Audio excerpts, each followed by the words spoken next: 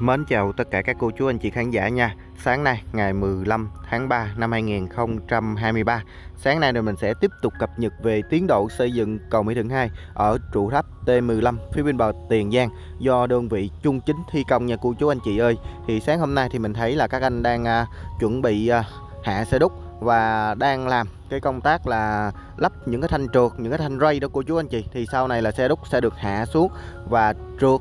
trên thanh ray này để mà di chuyển xe đúc qua bên ngoài, để mà tiếp tục xây dựng K4 đó cô chú anh chị ơi. Thì à, cái quá trình trượt xe như thế nào hạ xe đúc, di chuyển xe đúc như thế nào thì ở những cái video trước á, ở của khối dầm K3 thì mình cũng đã à, quay rất là kỹ và à, giới thiệu rất là chị kỹ cái vấn đề di chuyển xe đúc rồi. Thì mọi người có thể là xem lại những cái video trước ha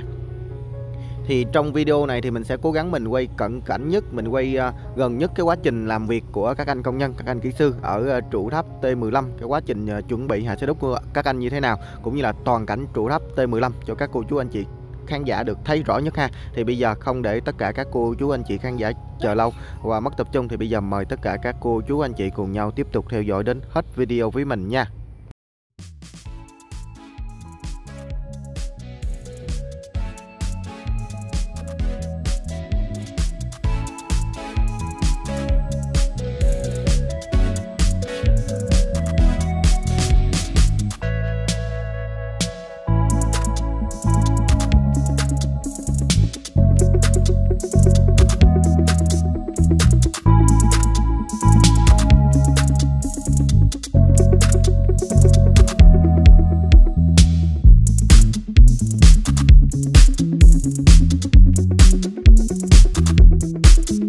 Thank